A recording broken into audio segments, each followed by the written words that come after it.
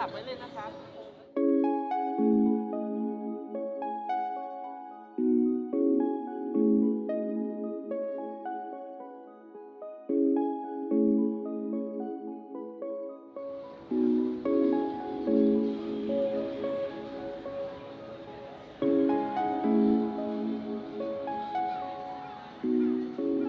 Well, the story's sweet. I mean, it's a wonderful story.